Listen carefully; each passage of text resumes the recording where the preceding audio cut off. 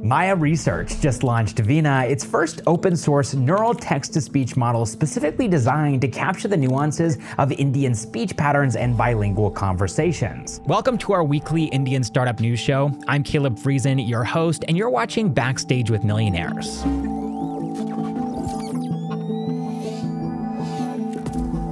Also, before we jump in, this channel is part of the Zero One Network by Zerodha.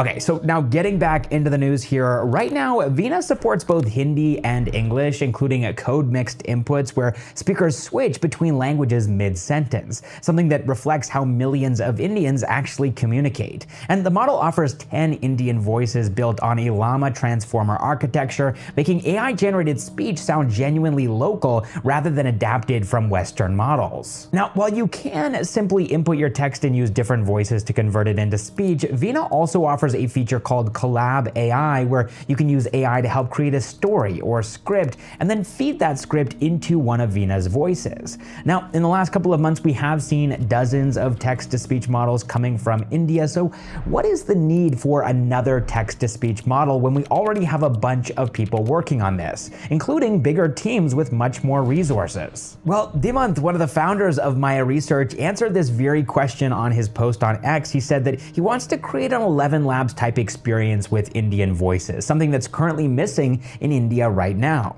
He said that even companies like Sarvam who have built realistic voices, they still lack the human touch in their voices. They can't whisper, narrate, or sound empathetic the way that humans do. And so that's exactly what Veena is trying to solve with its latest text to speech model. And knowing that these models can be expensive to use, Maya Research has open sourced four of these voices so that Indian developers can actually get started using these to create better experiences for Indian users. And you can check Veena out on their website, and I'd love to know how you think it compares to ElevenLabs. All right, next up in the news, Indian Air Force Group Captain Shubhanshu Shukla just made history as the first Indian astronaut to reach the International Space Station, launched aboard Axiom Space's AX-4 mission. But on that same day, Axiom Space also announced a separate partnership with India's Skyroot Aerospace, the company's leading private launch provider, opening new collaboration opportunities in low Earth orbit. Now, while these are technically two separate developments, both signal a crucial moment for India's space ambitions. Shubhanshu's 14-day mission ends a 41-year gap since Rakesh Sharma's flight in 1984, but more importantly, Shubhanshu is one of four astronauts selected for India's Gaganyaan mission planned for 2027, which is going to be India's first independent human spaceflight program. Shubhanshu's experience conducting seven experiments on the International Space Station, including growing fenugreek and green gram seeds in microgravity, will provide invaluable preparation for commanding India's first manned mission in space. The Axiom Skyroot partnership, on the other hand, represents a different but equally important step. Skyroot's Vikram 1 rocket, which is capable of carrying 480 kilograms of payload into orbit, is completing its final testing phases now, and so this collaboration with Axiom Space will provide Skyroot with critical expertise in commercial space operations, orbital integration, and customer service models, which are all pieces of knowledge that are essential as they prepare to offer on-demand launch services to global satellite operators. The partnership really sets Skyroot up nicely to learn from Axiom's proven commercial space station operations,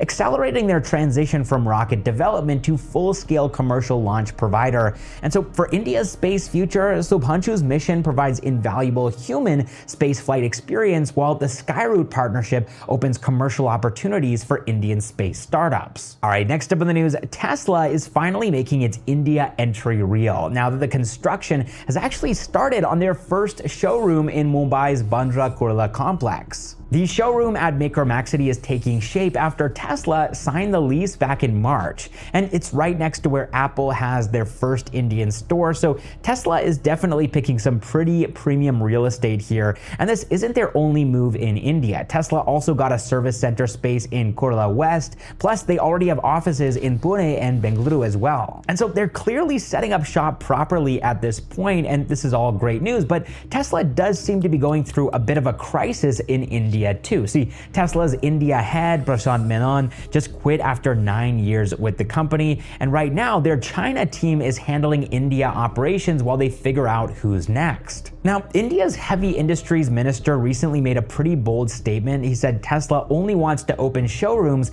and sell imported cars, not actually manufacture in India. And that's despite the fact that India has already rolled out a new EV policy that cuts import duties from 70% to just 15% if companies invest at least $486 million into local manufacturing. And while Tesla doesn't seem too interested in this, Mercedes Benz, Skoda Volkswagen, Hyundai, and Kia have all shown interest in this new policy, and India is about to open applications for this very soon. All right, next up in the news, Ola Electric stock has completely tanked. We're talking a fall from 157 rupees all the way down to 43 rupees. That's a 72% crash, and honestly, it's pretty brutal to watch. But here's the thing when you look at what's actually happening to their business, it all kind of makes sense. Ola used to be the king of electric scooters in India. They had almost half of the market, 49% to be exact, but now they're down to just 23%. And guess who took over. Bajaj, with their Chetak scooter, now leads with 29% market share. And so if you think about it, in just a couple of months, Ola went from being the leader to playing catch up. And obviously, when you lose customers, you sell fewer scooters, and it shows. Their sales have dropped from over 1 lakh units in Q4 of FY24 to just 51,000 units in Q4 of FY25. And that's the reason their revenue crashed by 62% in Q4 of FY25 compared to Q4 of FY24. But why are customers choosing to ditch Ola? Well, it's pretty simple. Their scooters have problems and their service is not very good. We're talking about 11,000 customer complaints since 2023. People are getting faulty scooters, battery issues, and when they go for service, they can't get proper help. So what happens? Well, frustrated customers are dumping Ola and they're buying Bajaj or TVS instead. And so now Ola is stuck in this mess where they're losing money, 870 crore rupees in losses in their latest quarter, Q4 of FY25 but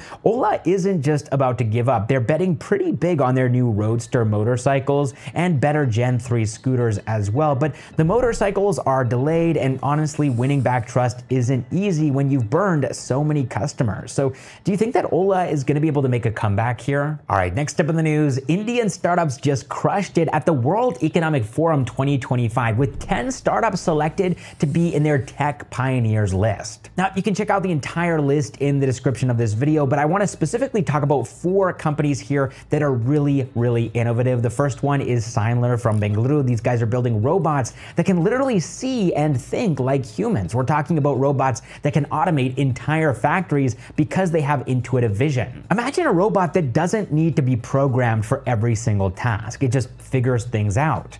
Then we have Agnikul from Chennai. They're 3D printing rocket engines and building customizable launch vehicles. Uh, so if you need to launch a satellite, they'll build you a rocket tailored exactly for your mission. And so this is space tech made affordable and accessible. Then we have the ePlane Company, which is working on something straight out of science fiction, flying taxis. Urban air mobility is finally becoming real, and an Indian startup is leading the charge. So you can probably, at some point in the near future, skip Bengaluru traffic and just fly over it. And then finally, we have Digantara. They're the space cleanup crew with thousands of satellites and pieces of space junk floating around space, somebody needs to track all of it to prevent collisions. And so that's exactly what Digantara does. They're basically the traffic police of space. All right, now let's move into some quick news here. And just like last week, I asked you all if you had launched anything cool this week, and a lot of people replied. So here are my three favorite picks. Now, the first one I want to talk about here is Vibemotion. And being a content creator myself, I know that editing videos can be a huge pain. It takes a lot of time and effort, and you need amazing design skills to stand out. But with Vibemotion,